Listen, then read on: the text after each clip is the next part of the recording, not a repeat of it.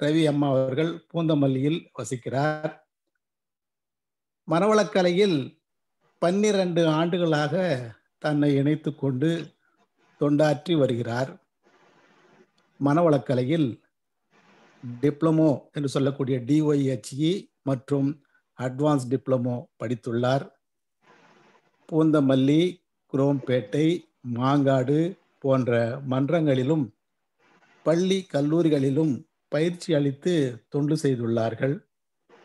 மேலும் கலிபோர்னியா சென்றபோது அங்கே உள்ள ஸ்கை பே ஏரியா சென்டரில் பயிற்சிகள் அளித்து தொண்டு செய்த செய்துள்ளார்கள். மேலும் இவர் ஹக்கு இயலராகவும் இருக்கிறார்கள். இப்பேற்பட்ட சிறப்பு மிக்க அம்மா அவர்களை மனவளக்கலை ஒரு மாபெரும் பொக்கிஷம் என்னும் தலைப்பில் நமது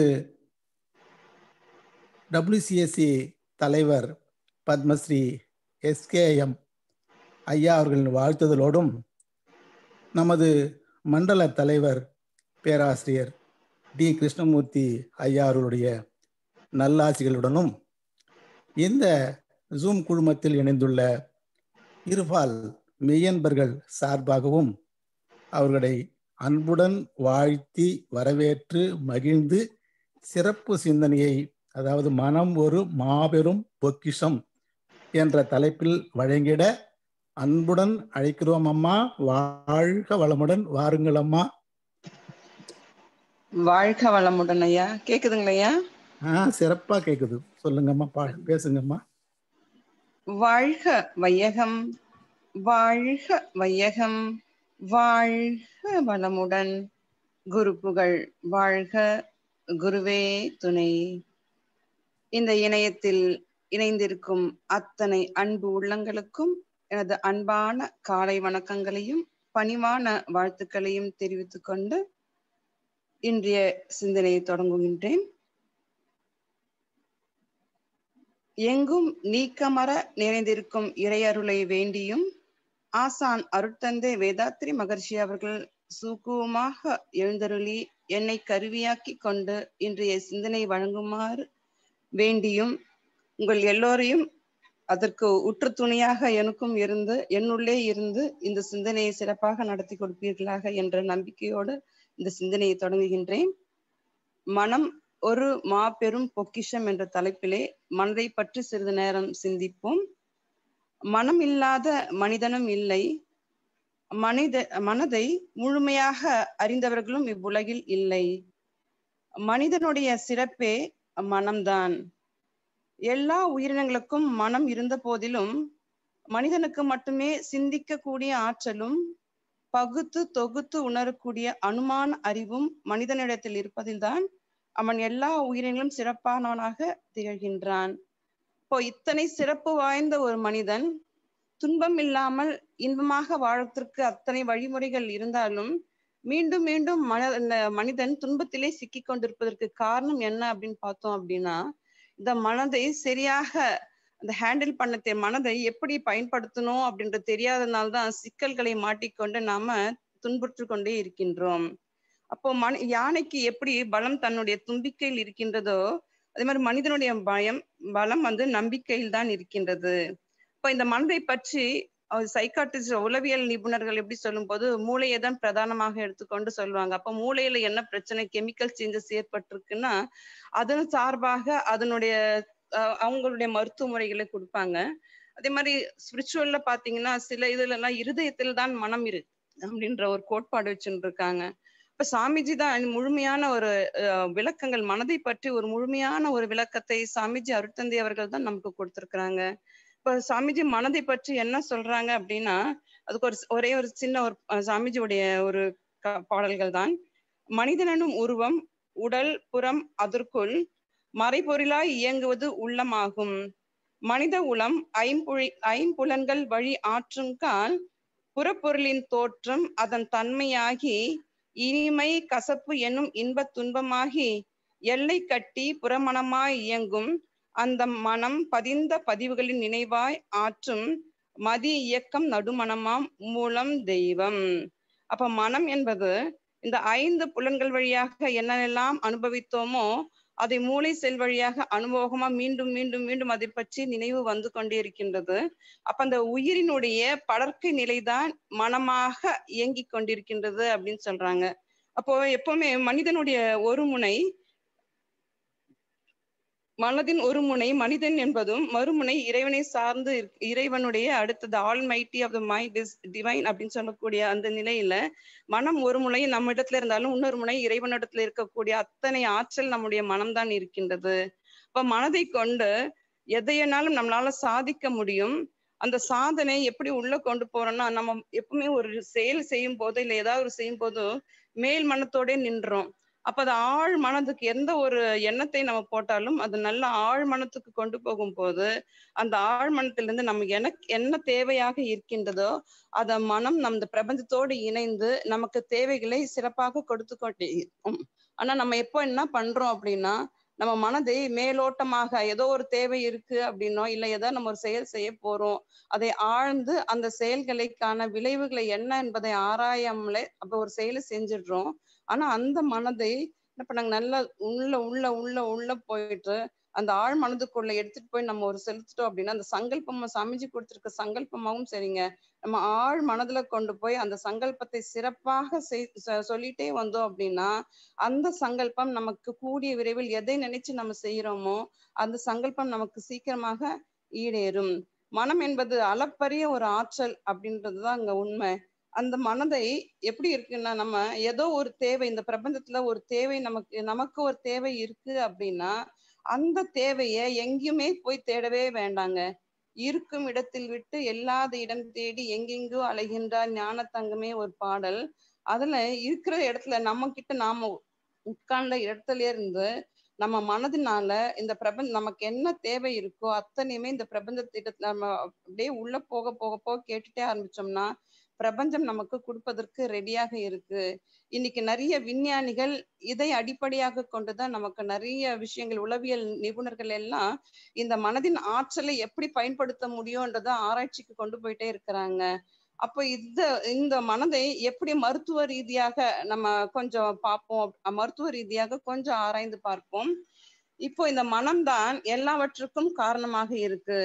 இன்பமாக இருந்தாலும் சரி துன்பத்துக்கும் காரணமாக இருப்பது இந்த மனம்தான். அப்ப இந்த மு- மனம் என்பது மனம் வேறு உடல் வேறாக நம்ம பார்த்துட்டு இருக்கோம் உடல் பொதுவாக மருத்துவத்துல உடல் தனியாகவும் மனம் தனியாகவும் பார்த்துட்டு இருக்காங்க உடல் என்பது கண்ணுக்கு தெரிந்த திட வடிவம். மனம் என்பது கண்ணுக்கு தெரியாத ஆற்றல் வடிவமாக இருக்குங்க. அப்போ இன்னைக்கு சைக்காட்ரிஸ்ட் நிறைய உளவியல் மருத்துவர்கள் இன்னைக்கு நிறைய சாதாரண டாக்டர்ஸை விட இன்னைக்கு நிறைய உளவியல் மருத்துவர்கள் தான் இன்னைக்கு எங்க பார்த்தாலும் தேவைகள் அடிப்படையில நிறைய இருக்குங்க. அப்ப அவங்க சொல்கின்ற ஒரு கருத்துக்கள் என்ன அப்படின்னு பாத்தீங்க அப்படின்னா இன்னைக்கு நமக்கு சொல்லக்கூடிய இந்த சைக்கோமேட்டிக் டிசார்டர்ஸ் அப்படின்னு சொல்லக்கூடிய இந்த நோய்கள் எப்படி வருது அதான் மனதில் ஏற்படுகின்ற அந்த டென்ஷனும் ஸ்ட்ரெஸ் ஆங்ஸைட்டி கவலை பவ பயம் சினம் பொறாமை போன்ற மனநிலைகள் உடல் நலத்தை பாதிக்க செய்கின்றன அப்படின்னு சொல்றாங்க. எது காரணம்? நம்முடைய மனதில் ஏற்படுகின்ற தேவையற்ற எண்ணங்கள் எல்லாம் வரும்போது இந்த சைமோ சைக்கோசொமேட்டிக் டிஸார்டர்ஸ் மென்டல் டிஸார்டர்ஸ் என்று சொல்லக்கூடிய அந்த ஒரு மனம்தான் எந்தெந்த விதமான நோய்களுக்கு கொண்டு போகுதுன்னா நம்ம இன்னைக்கு பெரும்பாலும் பெரிய நோய்களாக சொல்லக்கூடிய இந்த சுகர் முதற்கொண்டு பிபி முதற்கொண்டு எல்லா நோய்களுக்கும் காரணம் என்பது நம்முடைய மனம்தான் அப்படின்னு சொல்றாங்க.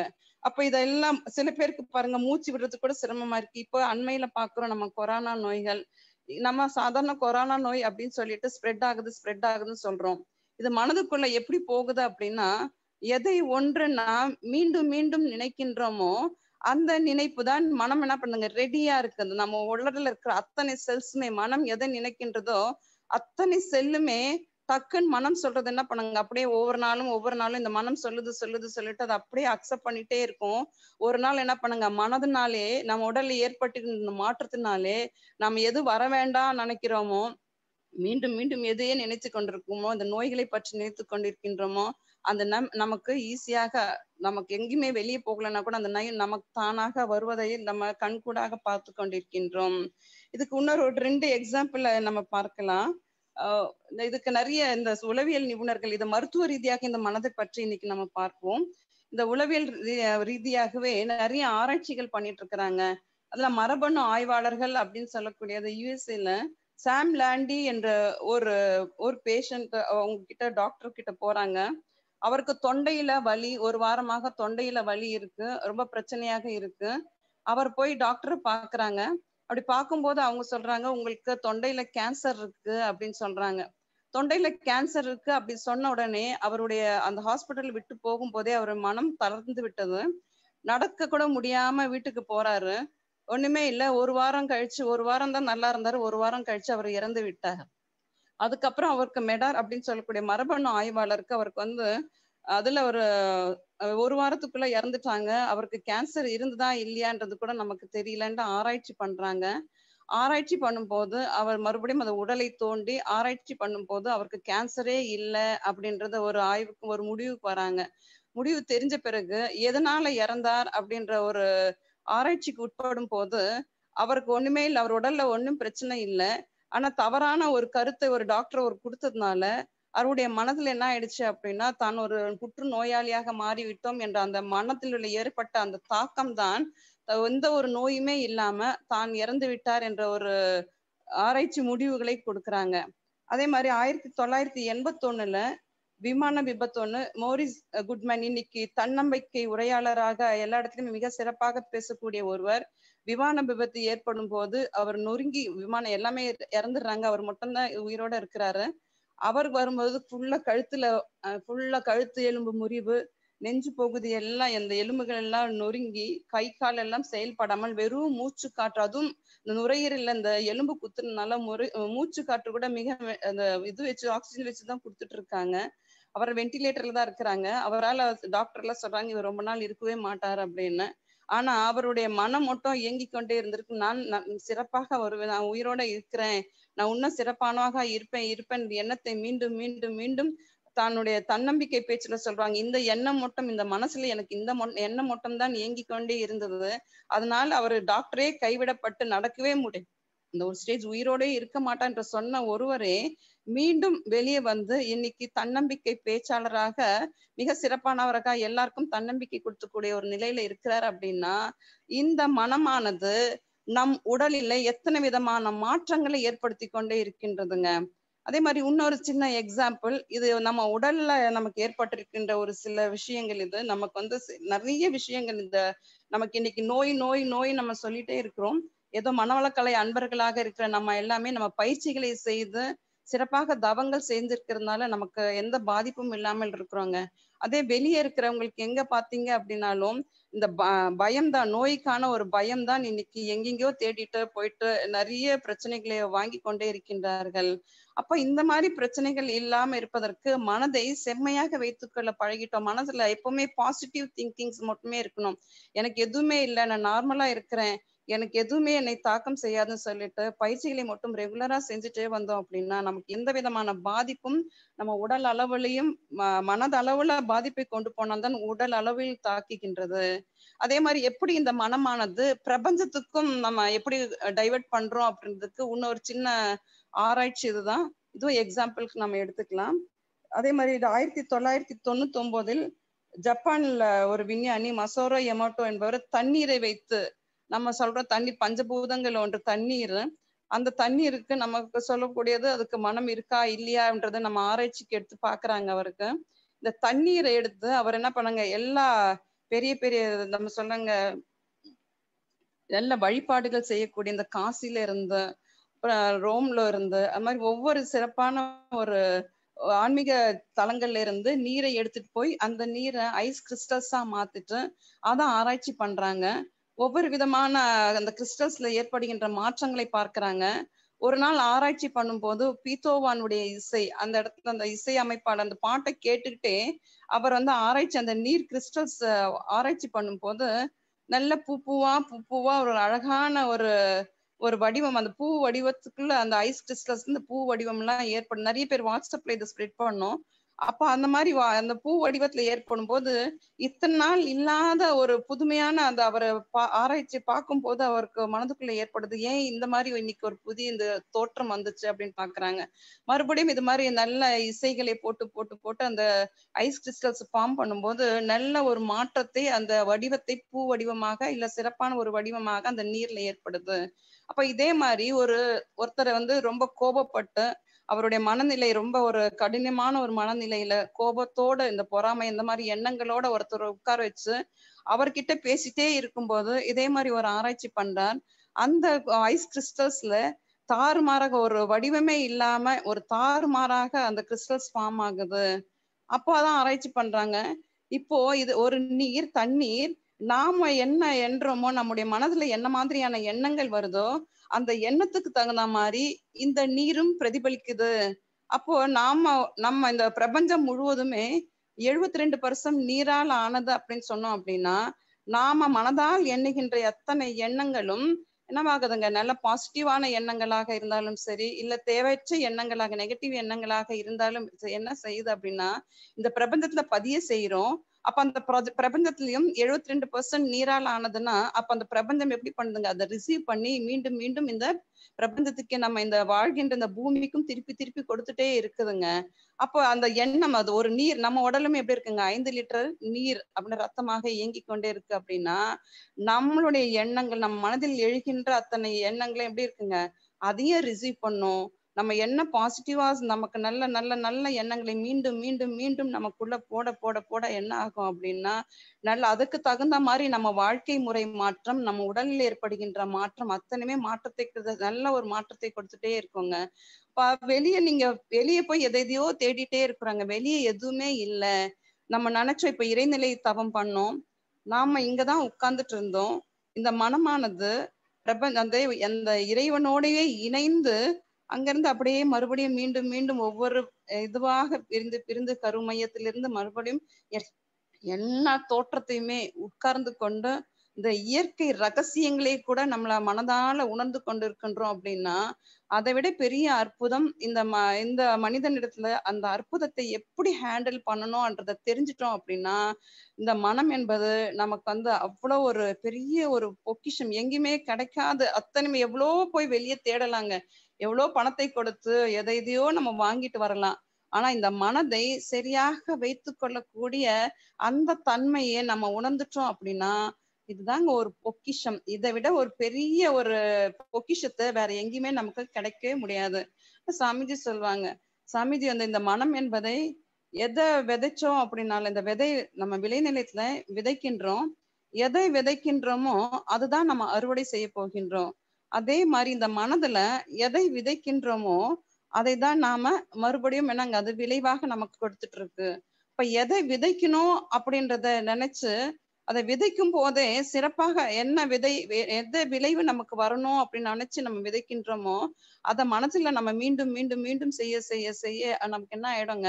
நல்ல செயல் நல்ல செயல் நல்ல அதுக்கான விளைவுகள் நன்மையாகவே நமக்கு நடந்து கொண்டிருக்கின்றோம். நம்ம போய் எங்கேயும் போயிட்டு நான் எனக்கு இது ஆயிடுச்சு எனக்கு இப்படி இருக்கு இந்த இந்த புலம்பல் எல்லாம் இல்லாம நம்ம சாமிஜி கொடுத்த பயிற்சிகள் மிக அற்புதமான பயிற்சிகள். அதான் சாமிஜி மத்த பய மத்த இடத்துல பாத்தீங்கன்னா ஒவ்வொரு யோகா அப்படின்றது கொடுப்பாங்க. ஆனா சாமிஜி மட்டும்தான் இந்த மனதை பற்றி முழுமையாக ஆராய்ந்து நம்முடைய மனவள கலை பயிற்சி. ஏன்னா இன்னைக்கு வருங்காலத்துல இன்னுமே அந்த இந்த மனதினாலதான் நிறைய துன்பங்கள் உடல்னால் ஏற்படுகின்ற துன்பங்களை விட மனதினால் ஏற்படுகின்ற துன்பங்கள் தான் அதிகமாயிட்டு போயிட்டே இருக்குங்க. இன்னைக்கு சமுதாயத்துல பாத்தீங்கன்னா ஒரு சின்ன ஒரு எல்கேஜி குழந்தைய எடுத்து கேட்டீங்கன்னா கூட சொல்லும்.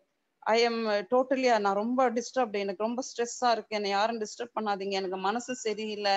அப்படின்ட்டு அந்த பிஞ்சு குழந்தை எல்கேஜி போகும்போதே சொல்லுது. காரணம் தன்னுடைய பேரண்ட்ஸ் வீட்ல இதே பத்தி தான் பேசிட்டே இருக்கிறோம். வீட்ல பாருங்க எதை பத்தி பேசினாலும் எனக்கு எதுவும் பேசாத. நான் ரொம்ப கோவமா இருக்கிறேன். எனக்கு மனசே சரியில்லை. இதை கேட்டு கேட்டு கேட்டு அந்த குழந்தைய என்ன பண்ணுதுங்க? அதுக்கு அதுக்கு மனசு சரியில்லையா? சரி இருக்குதான்றது அதெல்லாம் தெரியல. ஆனா எப்படி பிரதிபலிக்குது?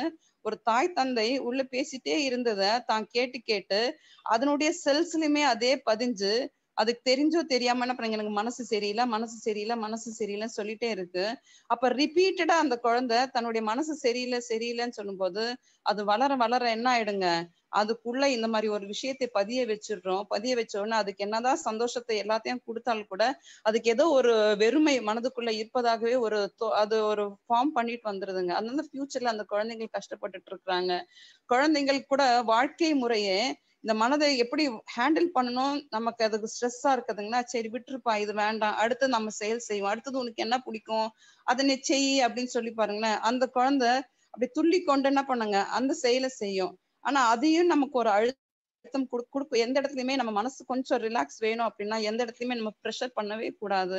எங்க ஒரு ப்ரெஷர் பண்ண நமக்குமே சரிங்க. ஏதோ நமக்கு கொஞ்சம் டைவர்ஷன் கொஞ்சம் வேணும்னா நம்ம எதுவுமே கொஞ்சம் அதுல இருந்து வெளியே வந்துடும் எது அழுத்தமாக நமக்கு ஒரு செயலை செய் ரொம்ப அழுத்தமா தோணுதோ அதுல இருந்து கொஞ்சம் மனசை ரிலாக்ஸ் பண்றதுக்கு தான் நிறைய நமக்கு இன்னைக்கு நிறைய சைக்காட்ரிஸ்ட் நிறைய விஷயங்கள் தெரபிஸ் எல்லாம் நமக்கு கொடுத்துட்டே இருக்கிறாங்க. மனம் தாங்க எல்லாத்துக்குமே காரணம். இன்னைக்கு இன்னொரு பெரிய விஷயம் விசுவலை விசுவலைஸ் இமேஜினேஷன் அப்படின்ற ஒரு ஒரு விஷயத்தையும் இப்போ கொண்டு வந்துட்டு இருக்கிறாங்க ஏன்னா இப்ப நமக்கு எல்லாம் என்ன தேவைன்னா அண்மையில கூட ஐயா ஒரு ஒரு பேராசிரியர் நமக்கே கூட பேசினாங்க. அவர் பேர் எனக்கு சரியா ஞாபகம் இல்லை. அவர் சொல்லும் போது கூட சொன்னாங்க இந்த மனசுனால நம்ம என்ன நினைக்கின்றோமோ மீண்டும் மீண்டும் மீண்டும் அதே நினைங்க. அப்ப நினைக்கும் போது இந்த பிரபஞ்சம் அது ஈஸியா நமக்கு கொடுத்துரும். அவர் நிறைய விஷயங்கள் தன்னுடைய அனுபவங்கள் எல்லாம் நிறைய கோர்த்து கோர்த்து கோர்த்து கொடுக்கும் போது தனக்கு நடந்த விஷயங்கள் எல்லாமே அவர் நிறைய சொல்லிட்டு இருந்தாங்க. அப்ப அந்த விசுவலேஷன் விசுவலைஸ் இமேஜினேஷனை கூட ஒரு இமேஜின் பண்ற மனசுல நான் இன்னைக்கு நாளைக்கு இது மாதிரி ஒரு ஆகணும். நான் ஒரு பெரிய ஒவ்வொருத்தருக்கு ஒவ்வொரு விதமான ஆசைகள் இருக்கும். ஒவ்வொருத்தருக்கு அப்படி சொல்லும்போது ஒரு சரியா சிறந்த மருத்துவராக வரணும் சிறந்த வக்கீலாக வரணும். சிறந்த பேராசிரியர் ஏதோ பேராசிரியர்களாக வரணும். இப்படி நிறைய எண்ணங்கள் ஒவ்வொரு மனசுல ஆசைகள் இருக்கும். அதெல்லாம் என்ன பண்ண சொல்றாங்க? ஒரு இமேஜின் பண்றாங்க. தான் அது மாதிரி ஆயிட்டோம் அப்படின்ற ஒரு இமேஜினேஷனே கொண்டு வந்து அப்படியே அந்த வாழ்க்கை முறையில இது மாதிரி நான் இருப்பேன் அப்படின்னு சொல்லிட்டு மீண்டும் மீண்டும் மீண்டும் ஒரு படமாக வரைஞ்சுக்கலாம். இல்ல ஒரு பேப்பர்ல எழுதி நான் இது மாதிரி ஆகணும். என்னோட சிறப்பானவனாக வாழணும். அவங்கவுங்க தேவை என்ன இருக்கோ மனசினால் ஏற்படும் அந்த தேவைகளை நிறைவேற்றி கொள்வதற்காக ஒரு படமாக வரைஞ்சு இல்ல ஒரு நோட்டு புத்தகத்துல டெய்லி எழுதி எழுது காலையில எந்திரிச்ச உடனே இல்ல நைட்டு படுக்கிறதுக்கு முன்னாடியோ அந்த வார்த்தைகளை மீண்டும் மீண்டும் மீண்டும் திருப்பி திருப்பி திருப்பி நம்ம மனதிற்குள்ள உருவேற்றி உருவேற்றி என்ன பண்ணலாங்க? உருவேற்றி கொண்டே வந்தோமானால் தக்க காலம் வரும்பதை இந்த பிரபஞ்சம் நீங்க என்ன கேட்டீங்களா அப்சல்யூட்டா அப்படியே கொடுப்பதற்கு தயாராக இருக்கின்றது. ஆனா நம்ம மனதை அதை திடமாக வைத்து கொள்ள வேண்டும். அதே மாதிரி ஒரு யானை பாருங்க மனசனுடைய பலம் எவ்வளவு இருக்குன்னு யானை எல்லாரையும் அவ்வளவு அந்த உருவத்தை பார்த்தோம் அப்படின்னா அவ்வளோ பெரிய உருவம். ஒரு தும்பிக்கையால ஒரு போட்டு ஒரு சுழட்டி சுழட்டி கீழே போட்டு அமுக்கி ஒரு மெதி மிதிச்சதுன்னா மனுஷன் அவ்வளவுதான். ஆனா அதே யானைய கொண்டு வந்து ஒரு மனிதன் அதுக்கு பயிற்சிகளை கொடுத்து கோயிலெல்லாம் போய் பாக்குறாங்க பயிற்சிகளை கொடுத்துடுறோம். ஒரே ஒரு மனிதன் ஒரு சின்ன ஒரு அங்குசத்தை கொண்டு அந்த யானையே அடக்குறாங்க அப்படின்னா மனிதனுடைய மனம் எவ்வளவு பெரிதாக இருக்குங்க? அதே மாதிரி சர்க்கஸ்ல கூட பார்க்கலாம். சர்க்கஸ்ல இப்ப இல்ல சிங்கம் அந்த மாதிரி எல்லாம் இருக்கும் போது அந்த ஒரே ஒரு சாட்டையை கொண்டு மனுஷன் அது எத்தனையோ பேரு கொண்டு தின்னக்கூடிய அளவுக்கு அந்த பலம் இருந்தாலும் அதனுடைய பலம் அதுக்கு தெரியல. அந்த சிங்கத்துக்கு தெரியல. ஆனா அதை எப்படி அடக்கி ஆளணும் என்ற அந்த பக்குவத்தை மனதால் இந்த பலத்தை மன பலம் கொண்டு மனிதன் அத சர்க்கஸ் கூண்ட்ல உட்கார சொன்னா உட்கார்ந்து நிக்க சொன்னா நிக்குது. அப்போ அந்த மனிதனுடைய மனமானது எவ்வளவு பலமாக இருக்கின்றது அதை அடக்கக்கூடிய அளவுக்கு நம்முடைய மனம் இருக்கு அப்படின்னா எப்பேற்பட்ட ஒரு பொக்கிஷம் நமக்குள்ள இருப்பது உணரணும் உணர்ந்து அந்த மனதை எப்படி நம்ம வைத்து கொள்ள வேண்டும் மீண்டும் மீண்டும் சாமிஜி கொடுத்த பயிற்சிகள் மிக அற்புதமான பயிற்சிகள் அகத்தாய்வு பயிற்சிகள். அப்ப அந்த அகத்தாய்வு செய்யணும் அப்படின்னா கூட முதல்ல உடல்ல நமக்கு உடல் பயிற்சி நம்ம செஞ்சு உடலை பக்குவமாக வேணா உடல் தான் நமக்கு பார்க்க கொண்ட இந்த திட வடிவம். இந்த திட வடிவத்துக்குள்ளதான் இந்த மனம் என்ற ஆற்றல் மிக சிறப்பாக இருக்கணும் அப்படின்னா முதல்ல இந்த திட வடிவம் நன்றாக இருக்கணும். அந்த உடலை பராமரிப்பதற்கான உடற்பயிற்சிகளை சாமிஜி கொடுத்திருக்கிறாங்க. இந்த தினந்தோறும் இந்த உடற்பயிற்சி செய்யும் போது உடல் நல்ல வலிவாக இருக்கும். அப்ப நல்ல உடல் வலிவாக இருக்கக்கூடியதுலதான் நல்ல மனம் இந்த ஹெல்த்தி மைண்ட் அதுக்குள்ள நமக்கு இருக்கும். அப்ப அந்த உடலுக்கான உடற்பயிற்சியும் உயிருக்கான ஏன்னா உயிரினுடைய படர்க்க நிலையில்தான் மனமாக இயங்கிக் கொண்டிருக்கின்றது. அப்ப அந்த உயிர் தான் உடலுக்கும் ஜீவகாந்தமாகவும் மனமாகவும் இயங்கி கொண்டு அப்படின்னா இந்த உயிரினுடைய ஆற்றல் அதிகமாக நமக்கு இருக்கணும் அப்படின்றதுக்காக காயக்கல்ப பயிற்சி அப்புறம் மனம் எப்பவுமே என்ன பண்ணாங்க வேவரிங்ல தான் இருந்துட்டே இருக்குங்க. மனம் வந்து அலையாக இருப்பதனால் ஓரிடத்தில் நிலையாக இருப்பதில்லை. அனுபவங்களை எண்ணி எண்ணி எண்ணி மீண்டும் மீண்டும் அதிலே துய்த்து கொண்டு துய்த்து கொண்டு அப்படியே வேவரிங்லயே இருக்கக்கூடிய அந்த மனதை அப்படியே ஒரு குழந்தையான ஒரு பக்குவத்துக்கு கொண்டு வரணும்னா அதுக்கான ஒரு தவ முறைகளை சமைச்சு நமக்கு கொடுத்து கொடுத்து கொடுத்து பயிற்சி முறைகள் நம்முடைய பயிற்சி முறைகளை சரியாக செஞ்சாலே போறாங்க. நமக்கான கெப்பாசிட்டி எதை நமக்கு தேவை என்றதை நம்ம ஊர்ஜிதம் செய்து கொண்டு அதற்கான பக்குவத்தையும் பலத்தையும் நம்ம மனதுக்குள்ளேயே உருவேற்றக்கூடிய அளவுக்கு தான் சமைச்சு கொடுத்துருக்குறாங்க. நம்ம அகத்தாய்வு பயிற்சி என்பதுதான் மிக சிறப்பான ஒரு பயிற்சி. எல்லாமே சிறப்பான பயிற்சி. மிக சிறப்பு அப்படின்னு சொல்லும் போது நிமிடத்துக்கு நிமிடம். மனம் என்பது எண்ணங்களுடைய தொகுப்பாக வர்றதுனால அப்படியே அப்படியே வே- போயிட்டே இருக்கு. மனம் போயிட்டே இருக்குங்க. அப்பப்ப என்ன பண்ணுங்க அகத்தாய்வு. நிமிஷத்துக்கு நிமிஷம் நம்ம எண்ணங்களை ஆராயும் போதே அந்த சமயத்துக்கு நமக்கு எல்லாம் என்ன எண்ணம் வருது? இந்த எண்ணம் வேணுமா? வேண்டாமா? இது விளைஞ்சா என் நன்மையா? தீமையா? கால்குலேஷன் பண்ணிடுறோம். கால்குலேஷன் பண்ணிட்டு எது தேவை இருக்கோ அந்த இதை மட்டும்தான் மனசுக்குள்ள போ- உருவேற்றும் போது இந்த அகத்தாய்வு பயிற்சிகள் தினம் நிமிடத்துக்கு நிமிடம் கூட செஞ்சுட்டே இருக்கோம் ஒரு எண்ணம் நமக்கு வந்துருச்சு அப்படின்னு சொன்னோம்னா உடனே ஆராய்ச்சி பண்ணிட்டோம் அப்படின்னா அகத்தாய்வு செஞ்சுட்டோம் அப்படின்னா நமக்குள்ள நம்ம ம- நம்ம மனதிற்குள்ள எந்த விதமான நெகட்டிவ்ஸும் நமக்குள்ள வராது. அந்த மாதிரி நெகட்டிவ்ஸ் வராத போது நமக்கு நமக்கு நல்ல ஒரு மனம் எப்போதுமே ஒரு ஆற்றல் நிறைந்ததாகவே இருக்கும். நம்ம எதை நினைத்தாலும் உடனடியாக நமக்கு அது மாதிரி நமக்கு அகத்தாய்வு செய்ய ஆரம்பிச்சிட்டோம் அப்படின்னா நல்ல எண்ணங்கள் மட்டும்தான் நமக்குள்ளாக இருக்கும். அப்ப இந்த மனதுக்குள்ள நல்ல எண்ணங்கள் ஏற்படும் போது நமக்கும் ஒரு சிறப்பான வாழ்க்கை அமையும். இந்த சமுதாயத்துக்கும் மிக சிறப்பான ஒரு வாழ்க்கை முறையை நம்மளால கொடுக்க முடியும். அது மாதிரி ஒரு ஒரு சின்ன கதையோட இந்த கொஞ்சம் நிறைவு செய்துக்கலாம். இந்த மனதுக்கான எவ்வளவு வலிமை இருப்பதுன்றதுக்காக ஒரு சின்ன கதை. ஒரு ஒரு ஊர்ல ஒரு பெரிய ஒரு சாமியார் அதாவது சாமி யார் என்று காட்டக்கூடிய சாமியார்கள் அப்படின்ற ஒரு நிலையில இல்லாம தான் ஒரு சாமியாராக தானே ஒரு சாமியாக ஒரு நினைத்து கொண்டு இருக்கக்கூடிய ஒரு ஒரு ஊர்ல ஒரு சாமியார் இருக்கிறாங்க. அவர் வந்து தன் தன்னோட இணைத்து கொண்ட சீடர்கள் எல்லாம் பாத்தீங்கன்னா ஒரு உயர்ந்த இடத்துல இருக்கக்கூடிய உயர்ந்த நிலையில இருக்கக்கூடிய அப்படின்ற மாதிரி அவர் ஒரு கான்செப்ட்ல வச்சிருக்கிறாரு. கீழ்நிலை இருக்கிறவர்களுக்கெல்லாம் அவர் வந்து அந்த அந்த அந்த இறை பத்தியும் இறையை பத்திய விளக்கங்களோ அவரால் கொடுக்க மாட்டாரு. ஒரு உய அவர் கூட இருக்கிற பெரிய ஆளுங்களுக்கு மட்டுமே உட்கார வச்சு அவர் வந்து இறைவை பற்றி உபாசனங்கள்லாம் செஞ்சுட்டு இருப்பாரு அப்போ ஒருவர் வந்து மிக ஏழை பா ரொம்ப ஏழையாக இருக்கக்கூடிய அவர் சம் ஏரியால இருக்கக்கூடிய அப்படின்னு சொல்லக்கூடிய ஒருவர் வந்து அந்த சாமியாரை பார்த்து எனக்கும் இறைவன் யார்? அப்படின்னு காமிங்க. இறைவனை பற்றி எனக்கு விளக்கங்கள் கொடுங்கன்னு போய் கேட்கிறாரு அவருக்கு போகும்போது உனக்கெல்லாம் இதெல்லாம் கொடுக்க முடியாது. நீ வீட்டு இங்க இருந்து வெளியே போன போகும்போதெல்லாம் எல்லாத்தையும் உள்ள போகும்போதே அவர் விரட்டி விரட்டி விடுறார். ஒரு நாள் அவர் கொஞ்சம் வெளியே போகும்போது நேரடியாக சாமியா கிட்ட போய் காலில் விழுந்து எனக்கு எப்படியாவது இந்த விளக்கங்கள் கொடு அப்படின்னு சொல்லும்போது அவருக்கு கோவம் வந்து பக்கத்துல இருக்கிற கல்லை எடுத்து கொடுத்து போய் தொலை இதுதான் சாமி அப்படின்னு சொல்லிட்டு தூக்கி வீசி எறிஞ்சிடுறாரு. அவர் அந்த பாமர மக் அந்த அவர் என்ன பண்றாரு அந்த கல்லு தான் சாமி அப்படின்னு நினைச்சிட்டு அந்த கல்லை கொண்டு வந்து தன் பக்கத்துல உட்காச்சிட்டு அதுக்கு நிறைய பூஜைகள்லாம் செய்து நீதான் சாமி சாமி சாமி சாமி சாமி சொல்லிட்டு கடைசியில என்ன ஆனாருங்கன்னா அந்த சாமியார் சும்மா வெறும் வேஷம் போட்டுட்டே இருந்தாரு. ஆனா இந்த கல்லை முழுமையாக இதுதான் கடவுள் அப்படின்ற ஒரு நம்பிக்கையோட அதுக்கு அந்த கல்லை புடிச்சிட்டு தான் அவர் முழு மனதையும் தான் முழுவதுமாக அது சாமியாக ஏற்றுக்கொண்டவர்.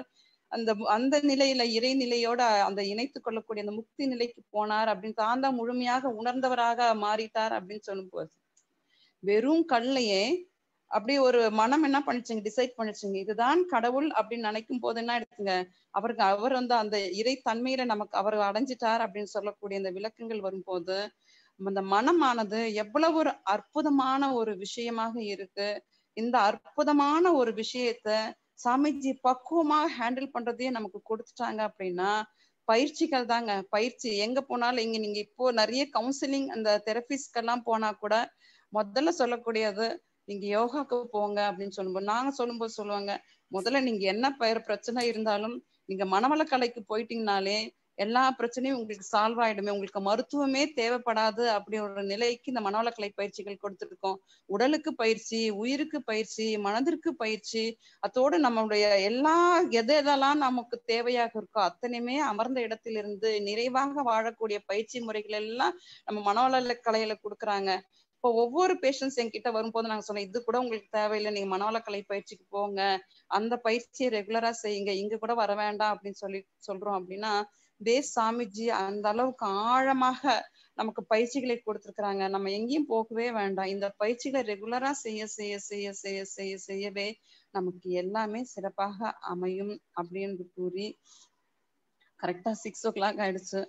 இந்த வாய்ப்பினை எனக்கு நல்கிய அத்தனை அன்பு உள்ளங்களுக்கும் நன்றிகளை கூறி இதுவரை என்னுடைய இந்த சிந்தனைகளை கேட்டுக்கொண்டிருந்த அத்தனை அன்பு உள்ளங்களுக்கும் நன்றிகளை கூறி விடைபெறுகின்றேன். வாழ்க வளமுடன் ஐயா வாழ்க வளமுடன். எனக்கு அறிவுக்கு எட்டிய வரை இந்த என்னுடைய கருத்துக்களை உங்களோட பரிமாறி இருக்கீங்கய்யா ஏதாவது சரியாக இல்லை அப்படின்னா அது என்னை சாரும். நல்லது எதுவாக இருந்தாலும் அது சாமிஜிக்கே சாரும் என்று கூறி உங்களோடு விடைபெறுகின்றேன். வாழ்க வளமுடன் ஐயா. வாழ்க வளமுடன்.